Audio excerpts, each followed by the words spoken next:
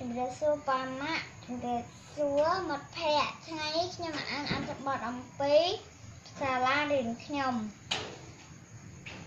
សាលារៀនខ្ញុំជាសាលាកុមារមេត្រីនៅមុខថ្នាក់រៀនមានដើមឈើផ្ដំម្លប់ដងទនជាតិស្រស់ផ្កានិងស្រន់ជីវៈចម្រុះមុនពេលចូលថ្នាក់យើងតែងបោសសម្អាតនិងស្រូបផ្ការាល់ពេលខ្ញុំស្រឡាញ់ចូលចិត្តសាលារៀនចំណាស់ ព្រោះវាជាឋានប្រចំណេះដឹកដល់យើងគ្រប់គ្រប់គ្នាអរគុណ